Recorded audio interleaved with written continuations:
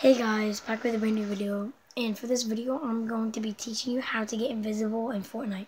So, it, it's a very cool glitch, but like, I don't think it's we're gonna get banned because it's in playground mode and you can't do it in like normal mode because you have to use a spawn button.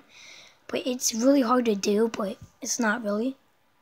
Okay, so all you need is to visit one of these corrupted areas, just any of them. Obviously, I'm going to be going to the one by Fatal because that's the one closest. So let me just do that. I'll jump. Okay, so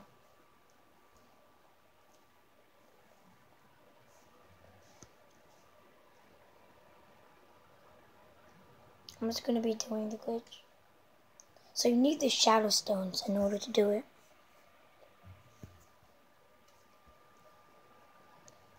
And I'm also here with my guest, Sean.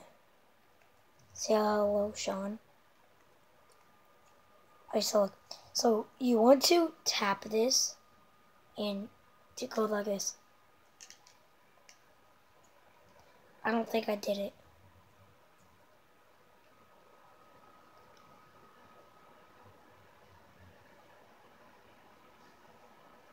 No.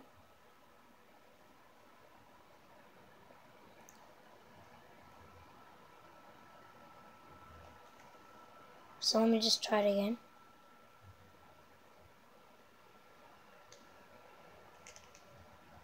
And I just did it, guys. Now what? Hold up. Okay, so landed out the ground. I did it. And you'll know if when the cube is in your inventory. Now you're invisible.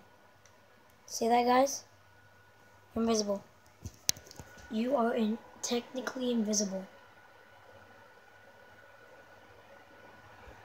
And I'm gonna go get a gun. Just to prove that you are invisible. And look, if you pick up the gun, you can see in your hands. You can kill people in this too. And if you don't want to be seen, go like this. Press triangle. Thanks for watching and I hope you guys enjoy. Peace.